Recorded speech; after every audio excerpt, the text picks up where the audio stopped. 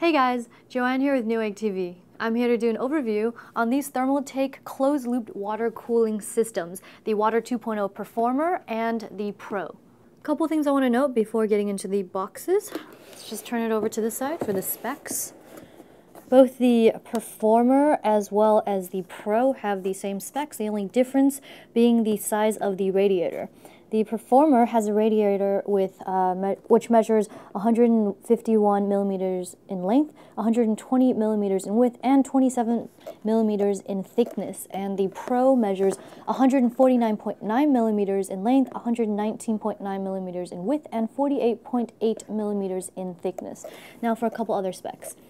Um, they're both compatible with Intel LGA 2011, 1366, 1155, 1156, and 775 sockets, as well as AMD FM1, AM3 Plus, AM3, AM2 Plus, and AM2 sockets. A couple other things I want to mention. They come with dual 120 millimeter PWM fans with fan speeds of 1200 to 2000 RPM, noise level 27.36 decibel, and max airflow of 81.32 CFM. Here are the accessories included in the boxes for the Performer as well as the Pro. Since they're exactly the same, I'm only going to go over one set. They both come with product warranty as well as your installation guide. And here are your dual 120 millimeter PWM fans. In this area, we have your Intel backplate with retention ring, AMD backplate with retention ring, your retention clip, Y cable, and in this bag we have your fan screws and washers.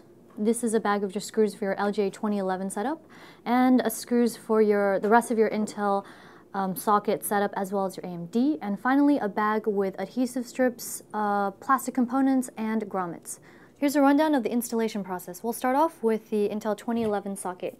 You'll need the retention ring, and first we'll need to take this clip, insert it into the four holes, just like this. Next we'll be taking this clip here and snapping it onto the other clip. So give me a moment, just like this. Then you'll need to take the screw with the thicker thread and screw it in, not all the way. Then you'll need to attach this onto your water block with this on the other end and lock it into place. Um, then you'll proceed to tighten the screws and uh, when you're mounting this onto your motherboard.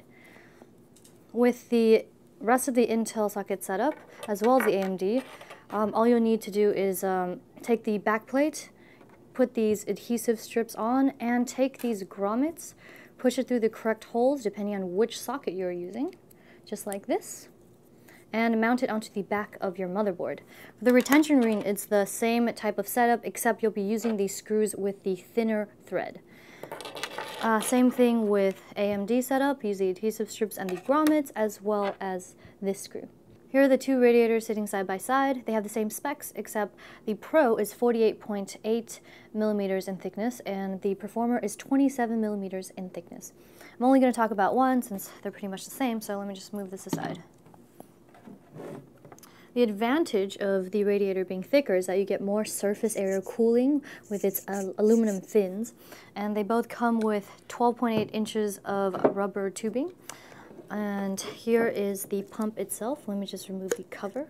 It comes with a copper contact plate and pre-applied thermal paste. And one last thing is that here is its three-pin connector that you plug onto your motherboard.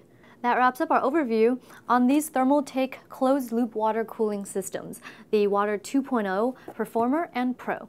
I'm Joanne with Newegg TV, and if you enjoyed this video, be sure to subscribe to our Newegg YouTube channel. Thanks for watching Newegg TV, and we'll see you next time.